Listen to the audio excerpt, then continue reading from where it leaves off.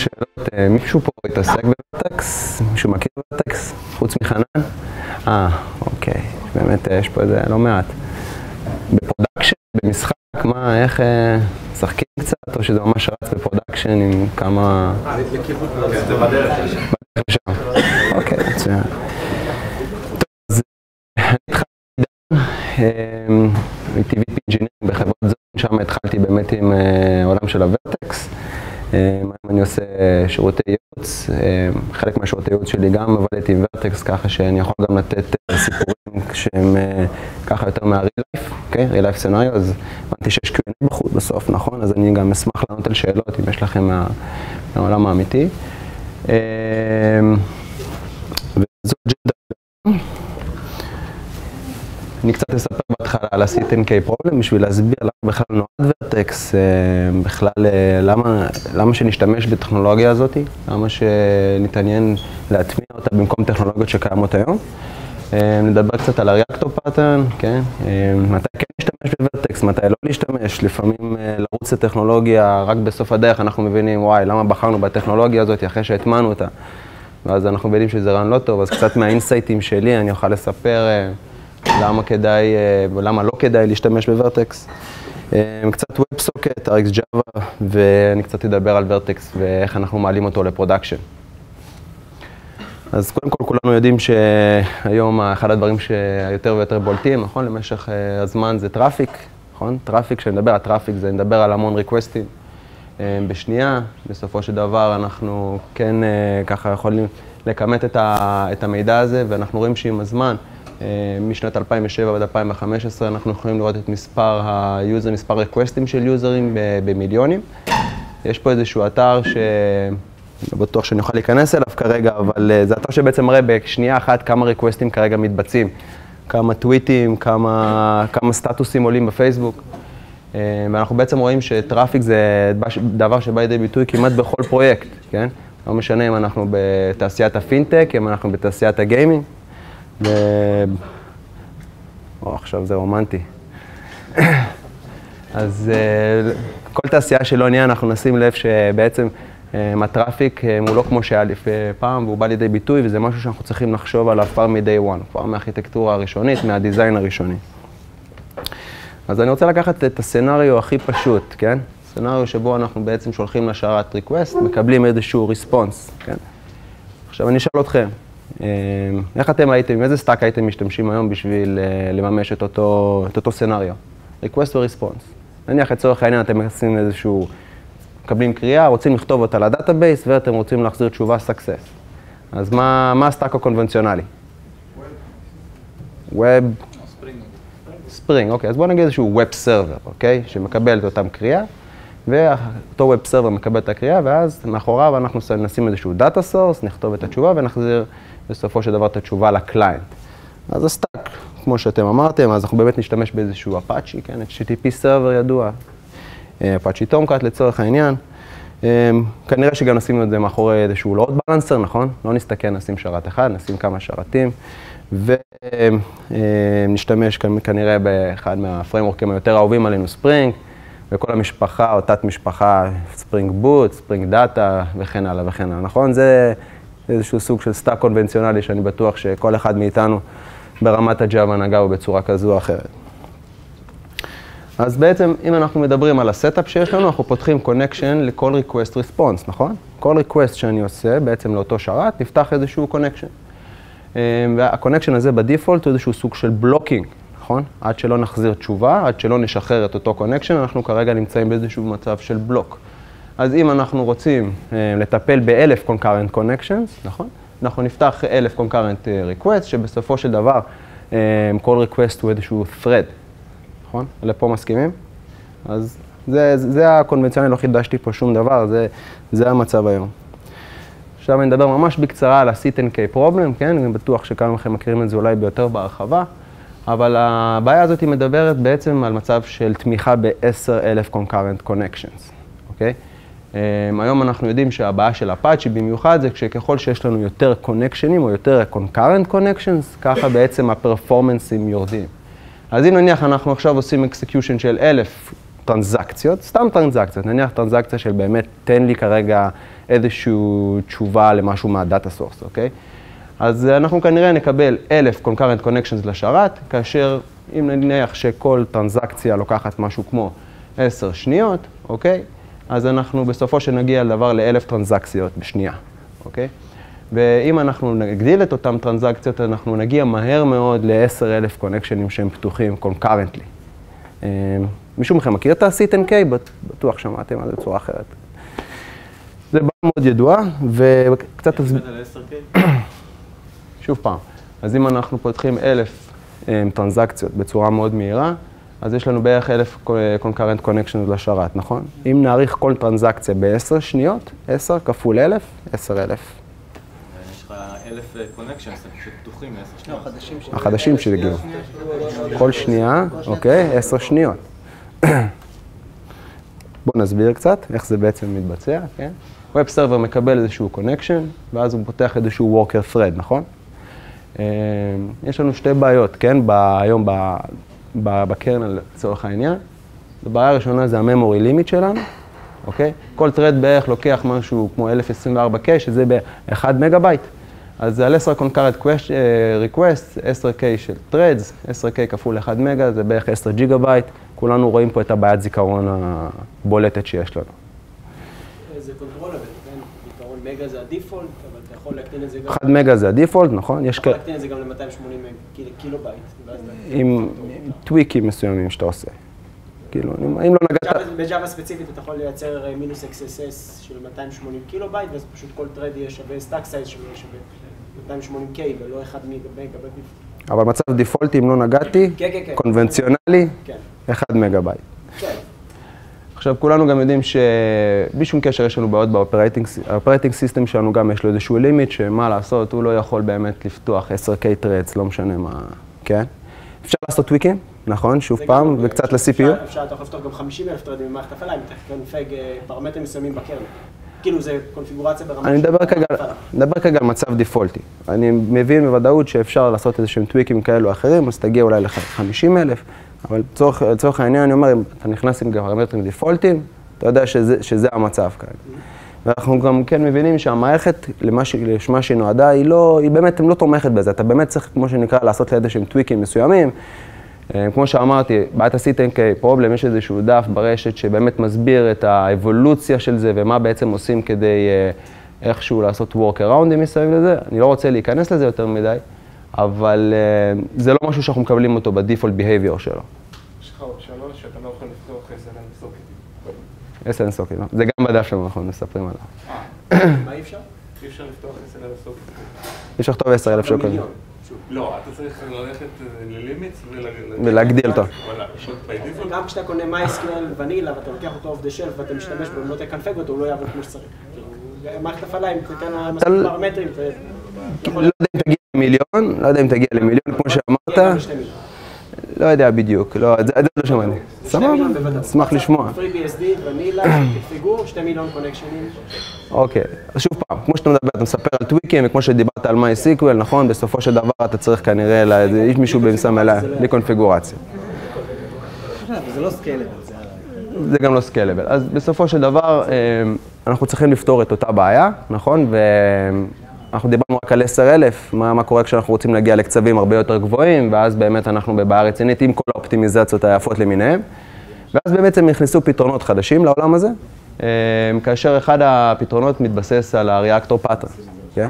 עכשיו, אם אנחנו הולכים לקרוא מה זה Reactor Pattern, ממש מוויקי, אז בעצם זה אומר שממש באנגלית, Reactor Design Pattern, Event Handling Pattern, for handling Service Request delivered concurrently to Service Handler one by. בכל מקרה, אני קראתי את, המש... את שני השורות האלה כמה פעמים ולא הבנתי, זה ככה מוויקי. באמת, בואו תקראו את זה אפילו אתם, אתם תראו ש... ואז אמרתי, אוקיי, אני רוצה לנסות להסביר את זה בצורה קצת אה, יותר ברורה. אז אני יוצא מנקודת הנחה שיש לנו את ה-disadvantage הזה שאנחנו צריכים לפתוח thread לכל connection, נכון? ובעצם ה-Reactor pattern, תחשבו שזה סוג של ארכיטקטורה שמבוססת על event driven. אתם מכירים אולי עוד ארכיטקטורה שמבוססת על event driven היום? שהוא לא... לא. עוד event driven, איזשהו שרת שהוא event driven? ידוע? Nginx לצורך העניין? שמתעסק, Node.js, נכון? אה, ובעצם Pattern, אה, זו, זו הטכניקה, עליה היא מבוססת, על ה-Event Driven. כאשר בסופו של דבר, מה שזה אומר שיש לנו איזשהו single loop, אוקיי? single loop, event loop, שהוא איזשהו סוג של blocking. הוא יודע לקבל ריסורסים מכל מיני טייפים של ריסורסים, ובסופו של דבר הוא יודע לקחת את אותם ריסורסים ולשלוח אותם להנדלרים מסוימים, כן? אז אם יש לי לצורך העניין resource שאיזושהי בקשה לעשות HTTP GET, אותו event loop יודע לקחת את אותה בקשה מה-queue, אוקיי? תחשבו שיש לכם queue שנערם בו בעצם המון המון ריקווסטים בכל מיני הנדלרים מסוימים, הוא יודע לקחת אותו ואז הוא יודע לשים אותו בהנדלר המיועד לו, אוקיי? אז ככה, לצורך העניין ניסיתי להראות באיזושהי צורה איך זה נראה. תחשבו שיש לנו איזשהו separate thread, אוקיי? thread שהוא לגמרי לגמרי לגמרי יהודי. ובסופו של דבר הוא עושה איזשהו דיספאץ' לעבודה, להנדלר הנוחו שלו, אוקיי? אז ממש דימיתי איזשהו טלפון אופרטור כזה, שבעצם אומר, אני מקבלת רק את השיחה ואני אעביר אותך ליעד שלך, אני אעביר אותך כבר למישהו שיטפל בך. אותו מישהו שיטפל בך, זה ההנדלר שלנו, אוקיי? מצד שני, יש לנו את אותם הנדלרים. ההנדלרים הם יכולים להיות מכל מיני סוגים של הנדלרים. והוא בעצם עושה את אותה פעולת I.O. אנחנו עושים איזשהו offload של העבודה מה-event looper, אוקיי? זה שהוא בעצם יודע לקבל את אותם ריקווסטים, ושם באותו הנדלר אנחנו עושים את אותה עבודה. שימו לב שההנדלרים האלה, גם אותם, אנחנו צריכים לעבוד בצורה של non-blocking actions, כן? נסביר בוורטקס איך זה בא לידי ביטוי, איך בכל זאת, אנחנו, אם יש לנו איזשהו action שהוא blocking, איך אנחנו מטפלים בו.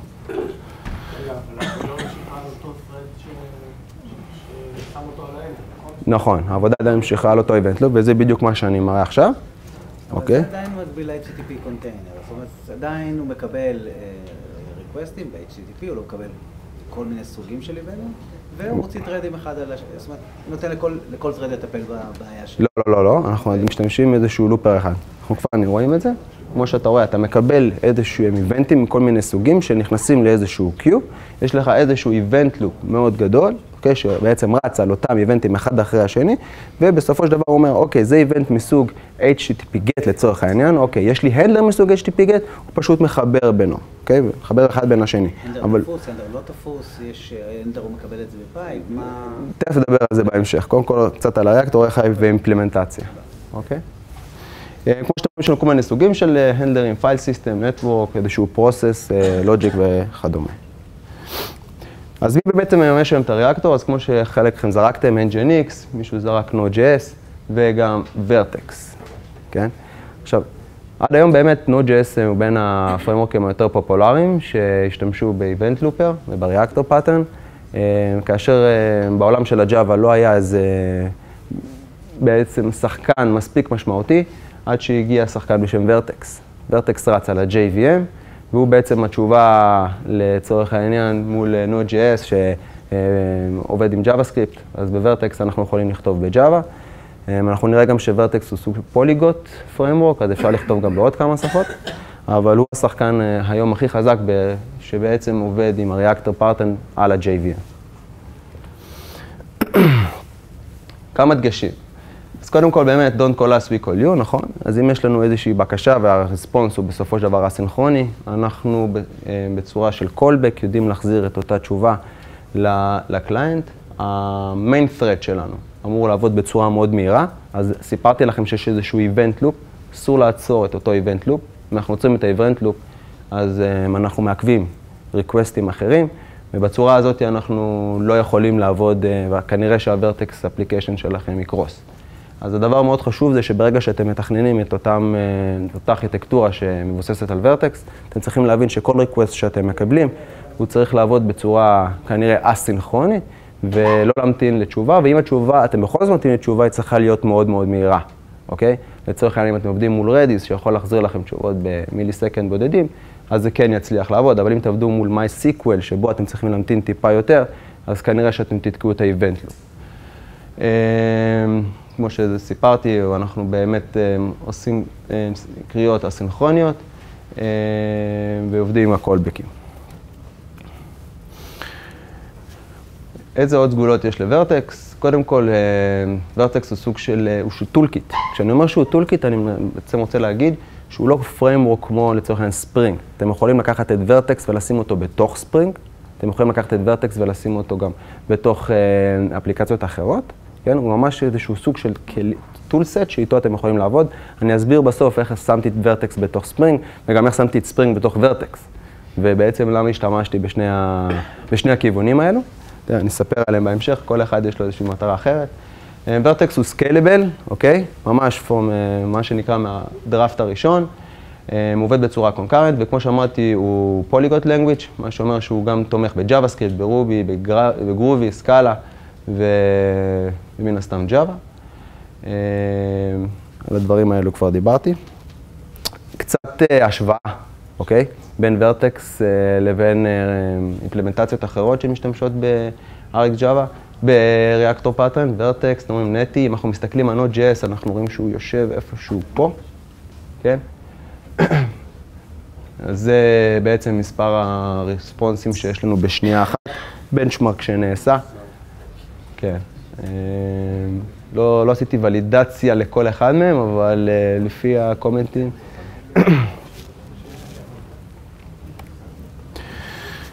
אוקיי, נספר קצת על ורטקס. על האינטרנט שלו.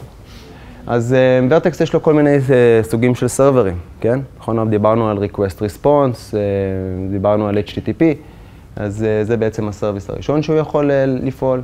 יש לנו עוד סוג אחר של WebSockets, יש לנו TCP servers, יש עוד כמה, אבל אלה בעצם העיקריים. אז כמו שאתם רואים, בגלל שיש לו HTTP server, אנחנו יכולים להשתמש ב Vert.x ממש כ-API layer, ממש כמו Spring.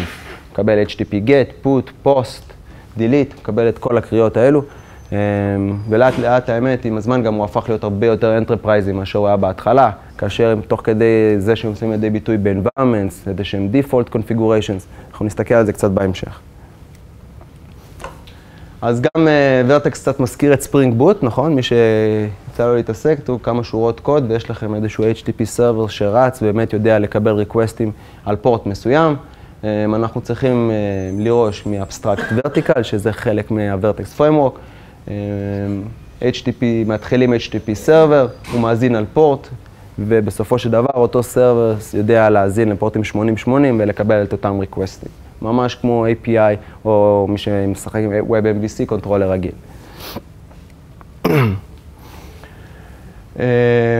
בעצם Vert.x יש לו, ה verticle ים יש להם שני סוגים, אבל לפני זה ה verticle ים יכולים לדבר אחד עם השני על ידי Event Bus. Event Bus זה עוד איזה קומפוננטה שאנחנו מקבלים בחינם עם Vert.x.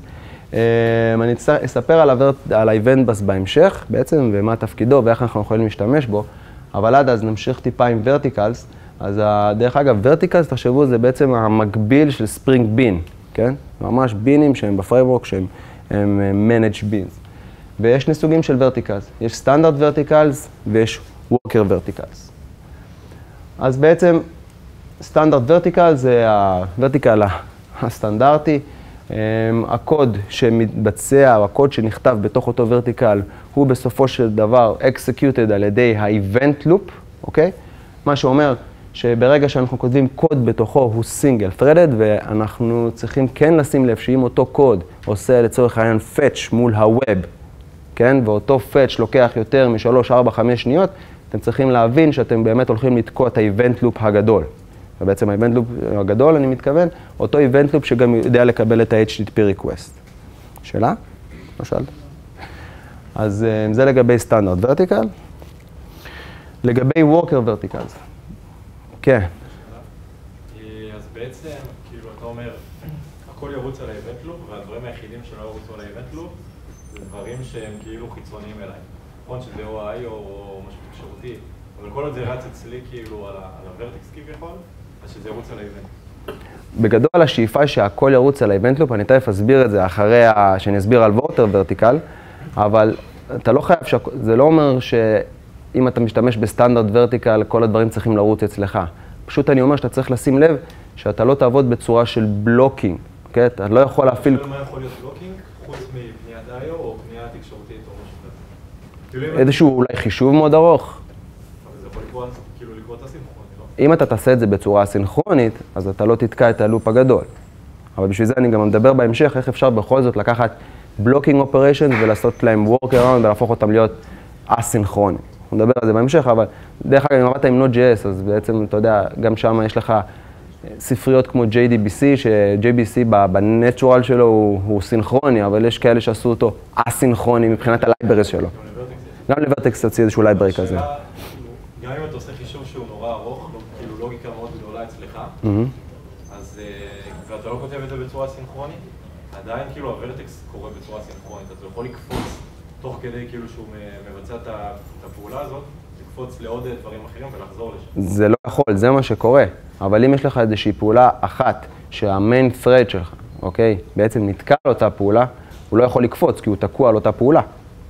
לצורך העניין איזשהו חישוב מאוד מאוד גדול, מאיפ- מאיזשהו third party ברשת, קריאה רק- לדאטה. רק סטייל פרטי כאילו, לפי מה שאני מבין. אם אתה תעשה while true בקוד שלך, אז פשוט תקטע event. לצורך העניין. אבל רוב המקרים הם third parties, כן? איזשהו data source שאתה צריך לקבל איזושהי תשובה או וכן הלאה. אה, סליחה, עוד שאלה אחת. כן. אה, רציתי לשאול שאלה הפוכה בעצם, זאת אומרת, אה, אם אני לוקח משהו כמו ורטקס, אז כנראה אני מכוון לרמות סקלביליות מאוד אה, גבוהות. אז מתי אני כן ארצה להשתמש על הפיצ'ר הזה של להריץ דברים בתוך אותו איבנט לופ, למרות שאני יודע שאני... אתה בדיוק מוביל אותי לשקף הבא. אתה מוביל אותי לשקף הבא. מה קורה אם אנחנו בכל זאת רוצים להפעיל איזשהו בלוקינג קוד, נכון? מה קורה אם אנחנו בכל זאת, כמו שאתה אומר, אתה רוצה כן לעשות איזשהו MySQL request, אוקיי?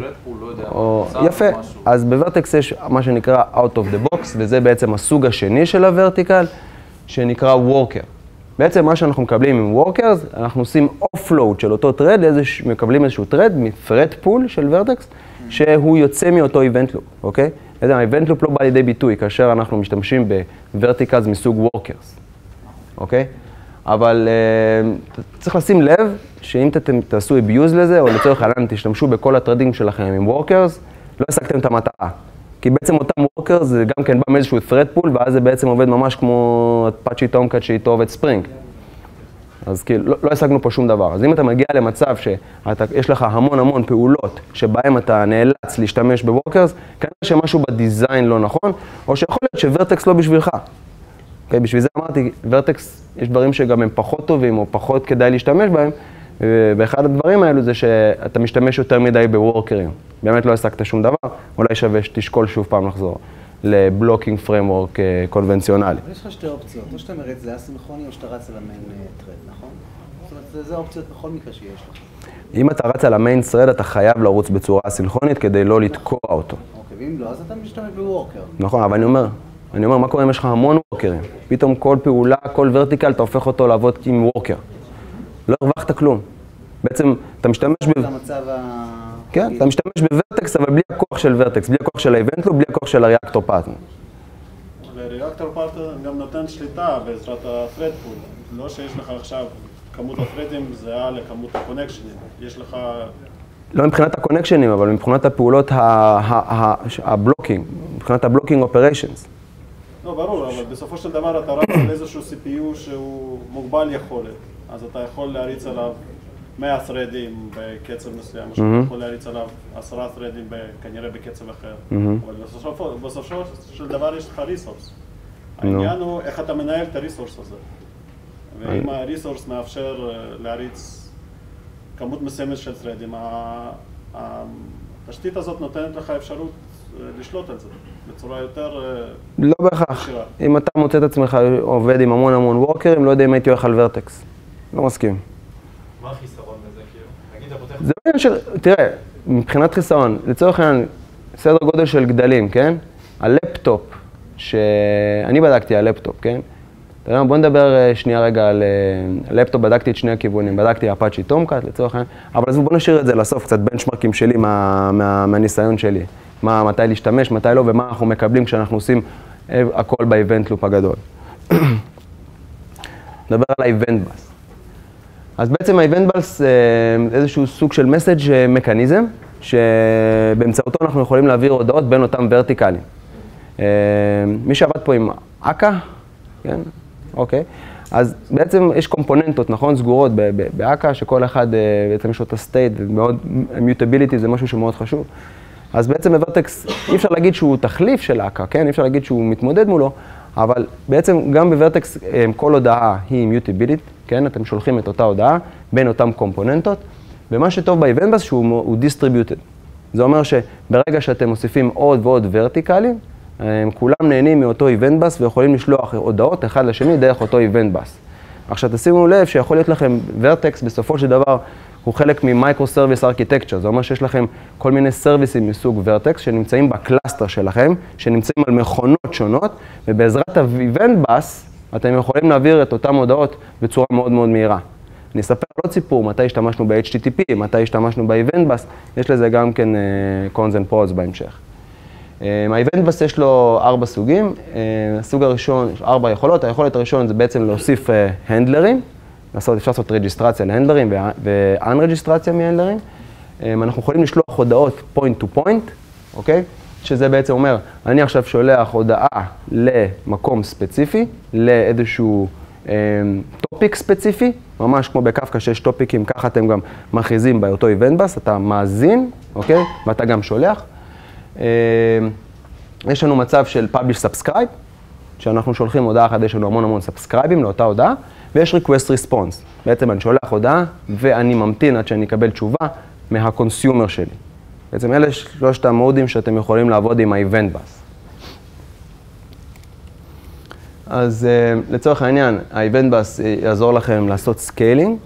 אמ, אתם, אני, אני אראה בהמשך איך אני בעצם עשיתי scaling בעזרת ה-event bus.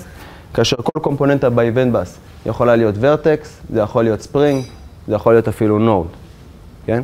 אמ, כמו שאמרתי בהתחלה, לקחתי את Vert.x, שמתי אותו בתוך Spring, לקחתי את Spring, שמתי אותו בתוך Vert.x. בסופו של דבר, ברגע שהעליתי את כולם והם מצאו אחד את השני, דרך ה-event bus יכלתי לשלוח הודעות מקומפוננטה אחת שהיא בעצם Spring, קומפוננטה אחרת שהיא ממש Vert.x pure. אמ, למה לעשות את זה? אספר קצת בהמשך. סליחה? כן. שאלה קצרה, טכנית ה-event bus זה משהו proprietary של Vert.x או שזה... בדיוק? של Vert.x. Vert.x לגמרי, כן. אמ, בהתחלה הרבה פעמים אנשים השתמשו במקום אה, event bus, השתמשו ב-Kafka כדי לשלוח את אותן הודעות. הם השתכללו עם, עם, עם הגרסאות. אמ, הבעיה ב-event bus שהוא לא persistent, כן? ברגע שאתה נופל ל-node וההודעה לא הגיעה, הוא כנראה לא הגיע, אמ, אבל הוא מאוד מאוד מהיר מצד אחר. אספר קצת על, גם על כמה סיפורים, מקווה שאני אספיק. client לא צריך להכיר את ה-event bus ולקבל את ההודעה? ה-client זה Vert.x. מה זה client? זה מתחבר גם ל-Node.js? לא, אבל Node.js מכיל בתוכו איזשהו Vert.x client. חייב בעיקרון... כמובן, כמובן, כמובן. אמ, כל ה... אמ, קפצתי שקף? כן. יש לו קפצתי עוד אחד? אוקיי. אמ, אז בעצם אה, אנחנו מקבלים Vert.x cluster ים, כן? גם out of the box, באמת, אתם פשוט שמים לב שאתם מתחילים לכתוב קומפוננטות Vert.x שם, אה, זה הרבה יותר מ-default גם, כן? באמת אה, שם דגש ומריץ לכם את כל העניין של ה-cluster ים כמעט out of the box. תלוי אם אתם מריצים את זה בסופו של דבר stand alone, אתם מריצים את זה באיזשהו cloud, ב-AWS, אני אספר קצת על AWS ו-Vert.x. אבל בסופו של דבר, יש לכם, מה שאתם מקבלים זה איזשהו אה, אוטומטי, כן? ברגע שאתם מוסיפים אה, איזשהו client חדש, אוטומטית הוא discovered ב-Vert.x cluster שלכם, אוטומטית אפשר לשלוח לו הודעות על ידי ה-event bus. אה, אנחנו מקבלים אה, distributed map support, אם יש לכם איזשהו map גלובלי שאתם רוצים אה, לשמור נתונים, בשביל מטרות כאלו או אחרות אתם מקבלים את זה. אה, הוא גם דואג לכל ה-distributed locks, כן, אם יש לכם, אה, אתם רוצים להעביר איזשהו מידע ממקום אחד, מפחדים על לוקינג, פותר את הבעיה. אה, וכמו שאמרתי, event bus יש אחד, דרך אגב, זה מאוד חשוב להבין, אי אפשר לשכפל את ה-event bus, event bus יש אחד בתוך ה-cluster שלכם, ב-Vert.x cluster שיש. כל הדבר הזה מתבצע על ידי Hazelcast, ו-Hazelcast זה האימפלמנטציה ה-default ית, הוא בעצם דואג לכל ה-heartbeats וכל הסינרגיה שבין כל הקומפוננטות. אה, מי שמישהו מכיר Hazelcast? כן? יצא לכם לעבוד עם Hazelcast כ-Hazelcast לבד, כ-in memory? לא, לא שיצא לנו, אבל היה דברים אחרים עם Hazelcast תחת אמזון. אספר על זה קצת. Hazelcast זה בסוף איזשהו in memory, in memory operational, כן, in memory platform, אמ, ובעזרת Hazelcast גם מתבצע ה-discovery, כן? זה מדהים, אתם פשוט רואים שאתם עובדים כמה, כמה, איזשהו צוות של עשרה אנשים על Vert.x, כותבים קומפוננטה, אתם מעלים אותה ל-cluster שלכם וזהו, היא פשוט, היא פשוט discovered out of the box. פעם דיברתי, הייתה לי הרצאה אחרת על microservices ים של נטפליקס, אז אה, דיברתי על אוריקה. אז לצורך העניין, במצב כזה לא צריך אוריקה, מי, ש, מי שעובד עם אוריקה, זה סוג של embedded. ב-Vert.x יש עוד כל מיני אה, אפשרויות, אחד מהם זה JWT, אותנטיקציה ואוטוריזציה, נכון? microservices צריך לדאוג לכל הדברים, גם authentications למיניהם, מקבלים את זה, מישהו מכיר JWT? לא מכירים, אז ממש בקצרה, JWT, Java Web Tokens, זה דרך מאוד נוחה, JSON Web Tokens, דרך מאוד נוחה לעשות אה, אותנטיקציה תוך כדי ה-request ים, מאוד lightweight. אה, בדיוק ההפך של SSO, אפשר להגיד. במקום שיש לכם איזשהו מקום אחד ספציפי שאליו אתם עושים את, ה- את האותנטיקציה שלכם, JWT זה בעצם spreaded על כל ה-microservices שלכם, ואז כל microservice בעצם יכול להיות authenticator, אוקיי? על ידי אותו טוקן שאתם שולחים ב-request, הוא לוקח את זה מההדר, השתמשנו בזה גם. Web Sockets, אני חושב שאני אדלג על Web Sockets כי לא בטוח שיהיה לי זמן. אני אעלה אחרי זה את המצגות, מי שרוצה קצת לקרוא, אבל העבודה עם Web Sockets, עם ורטקס, היא באמת, היא באמת, היא באמת טובה, היא מאוד נקייה.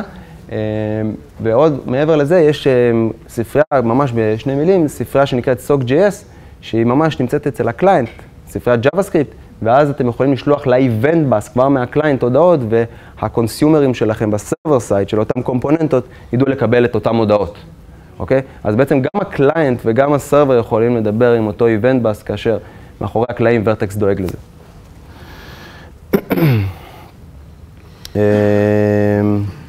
אוקיי. ה-Event Bus. כן. על איזה, כאילו, נגיד סבבה, יש לי Event Bus שהוא מאזין לאיזשהו port, נכון? כן, ה-event bus בסופו של דבר רץ על איזשהו port. איזה thread זה רץ? כי זה כאילו תמיד באיזה connection פתוח, נכון? כן. בגדול, קודם כל, ה-event bus, חלק מה... אה, כשאתה אומר על איזה...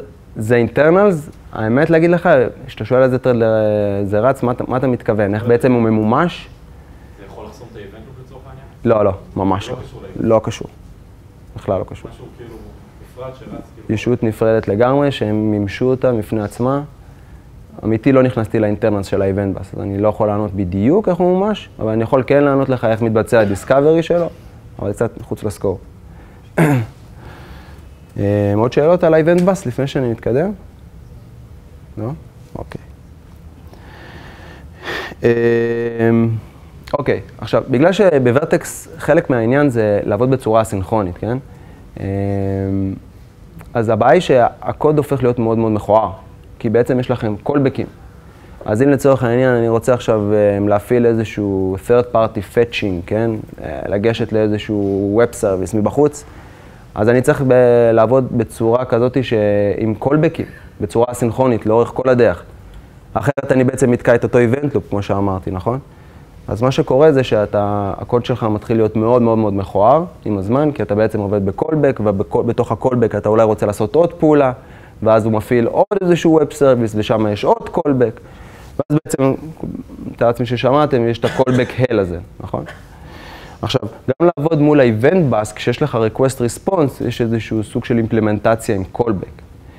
Vert.x הציעו, הציעו ספרייה שגם כן נתמכת אה, על ידי RX Java, שהיא ספרייה שגם כן היא shipped ביחד עם ה-Vert.x, והם עשו את כל העבודה הזאת, זה ממש כמו מקביל של promises. מכירים promises ב-JavaScript? אז בעצם RX Java זה כמו promises ב-JavaScript.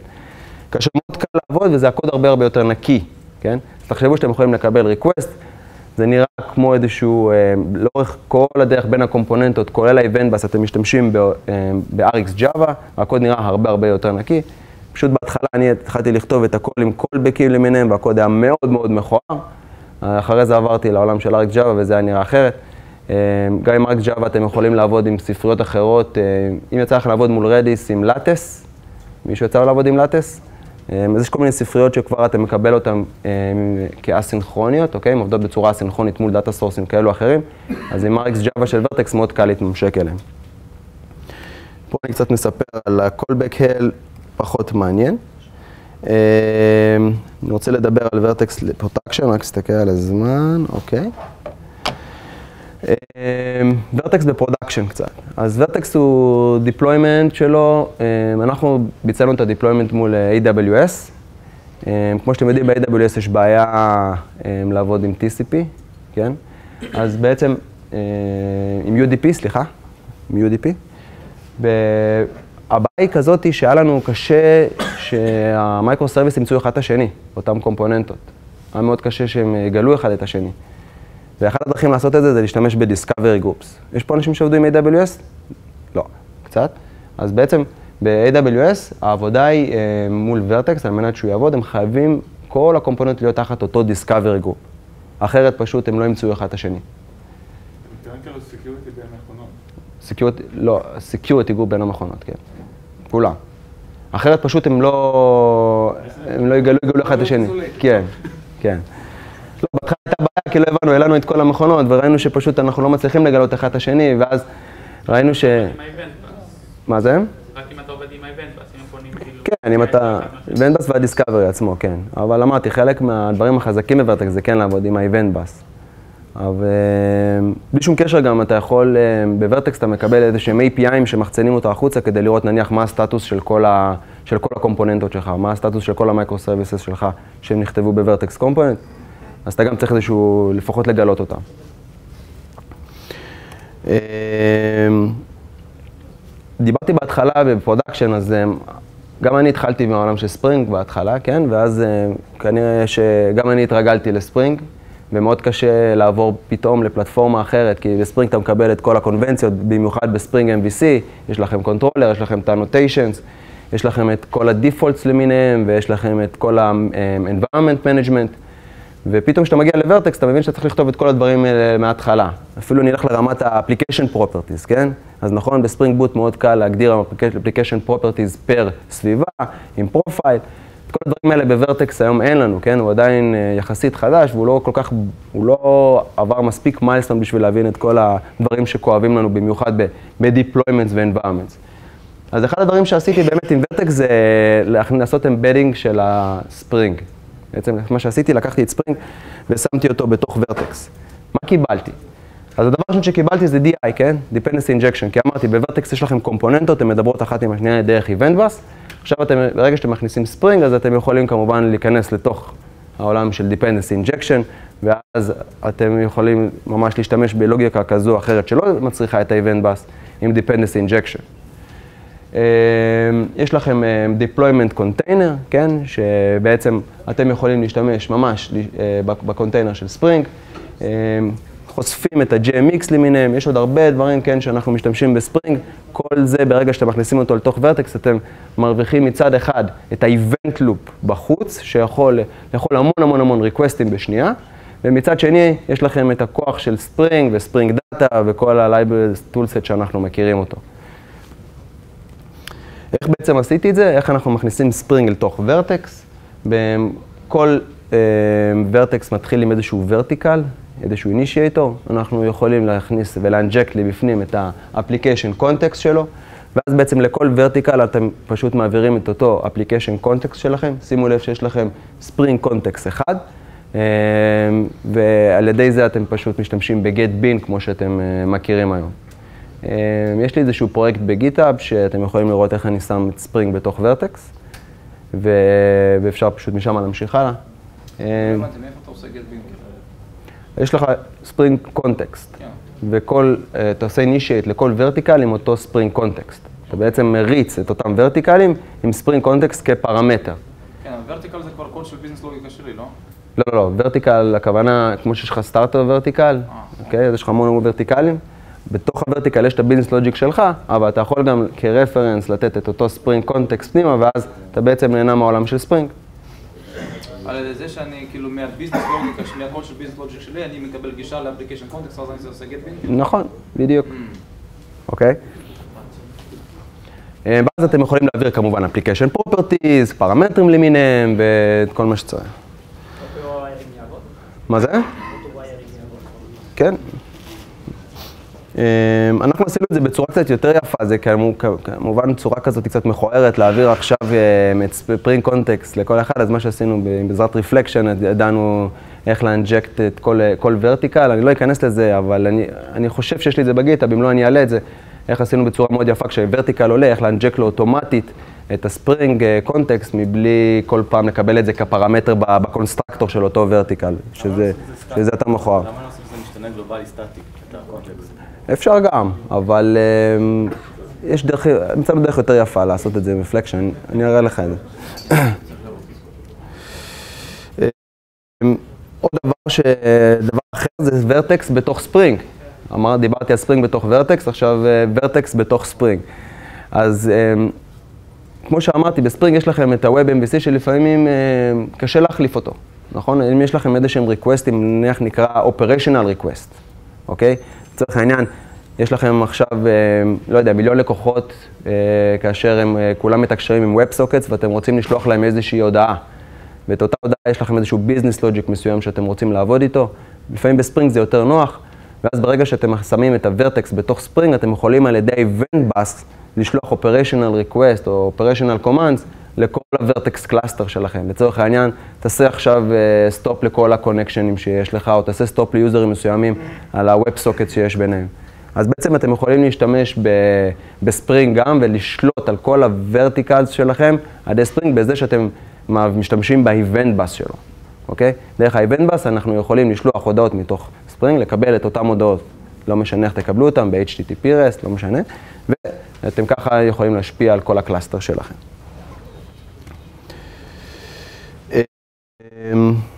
בקצרה, case study שלי.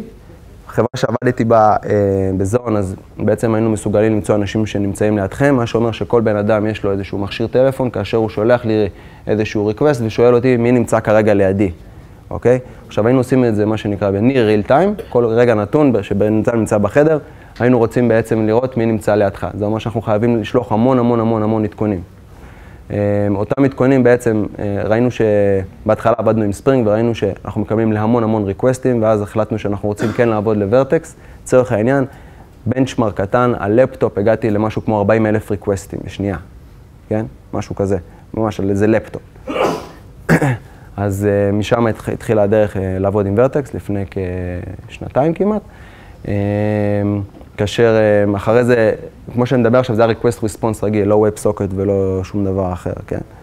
Um, אחרי זה שדרגנו את זה כמובן ל-WebSocketים, ואז זה היה באמת יותר קל לעשות איזשהו um, פוש חזרה מהסרבר לאותם קליינטים, ולהודיע להם מי נמצא לידם, ולא כל פעם שהם יבואו וישאלו מי נמצא לידי, פשוט לשלוח בפוש. וזה בעצם הניסיון שלי, ככה, big story משם. זהו. שאלות? ככה, כן. שאלה לגבי הכנסה של Spring לתוך Vert.x. למשל, אם אתה תיארת שהשתמשתם בתוך ורטקס בספרינג דאטה, וספרינג דאטה הוא בלוקינג, איך התגברת על ה event? שוב, צריך להבין את זה. כשאני מכניס את Vert.x לתוך Spring, הקונטיינר החיצוני, האבא לצורך העניין נקרא לזה, הוא Spring. לא, התכוונתי הפוך, ב- שאמרת שהחלפת את Spring לתוך Vert.x. זאת אומרת, יש לך אפליקציית Vert.x ואתה רוצה להשתמש ב Spring Data. אוקיי, אז כמו שאמרתי, אז אם אתה משתמש, ב, אם יש לך אפליקציית Vert.x ואתה משתמש ב Spring Data, לצורך העניין, אתה צריך כן לשים לב שאתה עובד בצורה אסינכרונית גם בתוך ה Spring bean שלך. אחרת אותו verticle, ה thread פשוט ייתקע, ייתקע שם. זה לא משנה, זה אותו דבר. אמרתי, דרך אחת להריץ קוד שהוא blocking זה להשתמש ב workers, אוקיי? דרך אחרת זה פשוט להפוך את אותו קוד להיות אסינכרוני, כמו עבודה עם promiseים בין, בין Node.js לצורך העניין. כאילו, אה, שוב, הבאתי דוגמה, אה, איך אה, עובדים בצורה אסינכרונית מול MySQL, יש איזושהי ספריית JDBC של Vert.x, שמימשו אותה, שהיא עובדת בצורה כאילו אסינכרונית. אוקיי? וככה אתה בעצם לא, לא סוגר את האיבנט לופ, אבל אנחנו, אנחנו יודעים שלעבוד מול MySQL זה משהו סינכרוני, אבל אתה יכול ככה בעצם לעקם את, את המערכת. ודיברתי גם על RxJava, אז אם יש לך איזשהו request שאתה צריך לשלוח לווב, אתה לא תשלח פשוט את ה-request ותמתין, אתה תעבוד באיזשהו סינטקס מסוים שייתן לך תשובה אסינכרונית מבלי שתתקע את אותו איבנט לופ. עכשיו, אתה יכול לעשות את זה בתוך ספרינג ואתה יכול לעשות את זה גם בתוך ורטיקל, זה לא משנה. זה לא משנה. הקוד הסינכרוני זה מובן למה הוא חותך את המספר של הסרדים מעשרות אלפים לאחד או שניים. אבל איך אתה מוריד את המספר של הקונקשנים? דיברת על זה שיש עשרת אלפים קונקשנים, עדיין נשארו לך עשרת אלפים קונקשנים עם עשרת אלפים יוזרים שולחים לך בקשות. כי אתה לא פותח על כל, אתה לא פותח על כל connection thread פה. עדיין יש לך את הקונקשנים, יש לך עשרת אלפים יוזרים ששולחים לך בקשות במקביל, יש לך עשרת אלפים אבל יש לך thread אחד שמטפל בכולם.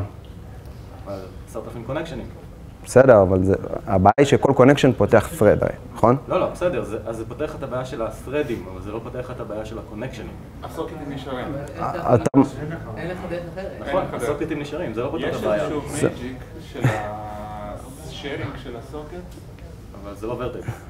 לא, לא. לא, נטו- סוקטים לא לוקחים כמו thread מן הסתם, סוקטים הם הרבה יותר lightweight. אה, כן, פשוט בהתחלה. הראית שקף שיש הרבה סוקטים ושזה בעיה, אז זה לא פותר את הבעיה הזאת. לא, לא, לא, לא, לא. אבל סוקטים זה משהו שהוא הרבה יותר, הרבה יותר כן, lightweight מפרד של... יש לולים מתעלם, אתה לא יכול לעשות יותר מדי סוקטים. ב- זה גם נכון, מן הסתם. אבל אתה מסכים איתי שאם אתה משווה את זה לאימפלימנטציה שהיא בלוקינג, זה... לא, ברור, כן. socketים, socketים אפשר לפתוח בתיאוריה, threadים אתה מוגבל, באמת מוגבל, כי ה kernel של ה scheduler בעצמו בהפעלה הוא לא יעיל, הוא לא optimized לזה שתפתח 40K, 50K connection, concurrent threads, אבל connectionים תפתח, תיאורטית זה physical, זה עניין של מכונה, של זיכרון. תשים 64 גיגה או 128 גיגה רם, תוכל לפתוח גם מיליון אה, socketים. socketים. במודל של אחד. גם שני מיליון סוקטים במודל של אחד. אין עם זה. כן. עכשיו זה ה-Q&A רק אסף, שאני אבין. לא, לא. לא.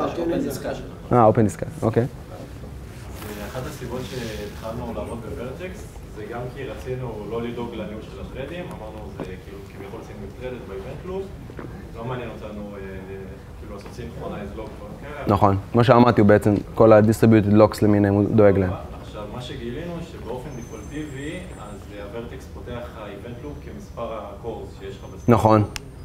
עכשיו, השאלה שלי, הבנתי שכאילו הנדלר מסוים יכול לרוץ על אותו איבנט לופ בלבד, אבל השאלה מה קורה אם יש לך נגיד כמה הנדלרים שרצים על איבנט לופ שונים, שניגשים לאותו מקום בזיכרון. בעצם פה כאילו, כמה הנדלרים שונים שניגשים לאותו מקום בזיכרון. זה איזה משתנה סטטי לצורך העניין, וזה כאילו כביכול אמור להיות רצף, כאילו זה סינגל טרדד, אבל עכשיו זה מגיע למצב שיש לך כמה טרדים בו זמנית שניגשים. והייתה לך בעיה של לוק שם? אני לא סגור על זה, בגלל זה שאלתי. לי לא הייתה בעיה של לוק. הוא דאג לכל הקונטקסט סוויץ' הזה. רוצה לשאול אם אתה יודע איך זה מתנהג, כאילו. לא הייתה בעיה של לוק, אבל היה בעיה שכאילו כמה טרדים מנסים לגשת לעבוד על אותו משתנה. ואז מ- כאילו מ- אחד משפיע. מקורים שונים. כן. מקורים שונים. משפיע על השני, זאת אומרת, אתה נגיד סוגר בראשון, אה, נגיד יש לך HTTP קלייט, סוגר את ה connection, אז סוגר גם את ה thread השני. אבל שאלה, למה אתם משת... איפה המשתנה הזה קיים? איפה הוא, איפה הוא נמצא? אותו... לא, למה אתה לא משתמש... אם... אבל אם זה משהו שהוא כן אמור להיות shared, למה לא השתמשת ב-distributed map לצורך העניין? אין תשובה. זה בדיוק העניין. למה לנו, אם המערכת נותנת לך איזשהו כלי, שאם אתה כן רוצה שהוא יהיה distributed ואתה כן רוצה שישתמשו בכמה מקומות, למה... לא, זה... זה- הם כנראה אומרים את stateless. אתה- אז בסדר, לא תדפוק את ה... לא תעשה concurrent access ל list או... אני בכלל אומר בדעה, מה- מה- למה design אנס אותך לעשות את זה מההתחלה? אז השאלה היא, אני אני אשאל שאלה שקשורה לזה. מהמם. בעצם שאלה של למה להשתמש ב Vert.x כמו נגיד את, שאמור לתת פתרון לזה, אבל הוא כבר מביא פתרון יותר מורכב. אז בעצם, נניח שיש לך state, הוא לא per request. ואז נניח שיש לך handlerים שונים, שניגשים לאותו state בעצם. כי משהו משותף לשני... ה handlerים- האלה נמצאים ב serviceים שונים, נכון? זה מה שאתה אומר? כל handler וה service שלו. כן. איך יכול להיות שיש לך, כאילו, למה יש לך design כזה שיש לך שני handlerים ב serviceים שונים שצריכים לגשת לאותו, לאותו מקום או לאותו state ולקחת איזשהו מידע? מה זה? אם יש קאש בסרבר. בסדר, אבל אם יש קאש, אז תוציא את זה החוצה. למה, למה זה בפנים? אפשר לפתור את זה, השאלה. למה, למה, למה בפנים? זהו, מלכתחילה כאילו- אבל. מה, לצורך העניין נניח רדיס, או לצורך העניין, כאילו, למה, אני עדיין מנסה להבין למה... פשוט אני חושב שזה שאלה קצת של דיזיין, אתה מבין? כאילו אפשר, אבל אני חושב שאם בדיזיין, אני לצורך העניין, שני הנדלרים שונים, שני סרוויסים שונים, שניגשים לאותו מקום ביחד שאומרים, הייתי, הייתי פותר את זה בצורה אחרת. כי יכול להיות שבאמת יהיה בסופו של דבר, זה לא משנה איפה הסטייט הזה יישב, ויהיה לך שם איזושהי בעיה כנראה של אה, אה, סינכרוניזציה. השאלה אולי קצת יותר ניהולית. מהמם. האם אה, יש שחקנים ממש גדולים שמשתמשים בוורטקס עכשיו? כן. ושאלה שהיא קצת מתחברת כן. לזה, נגיד אני יודע שספרינג 5 הולך להיות ריאקטיב, כאילו לאורך כל הדרך, זה הבאז הגדול שלהם.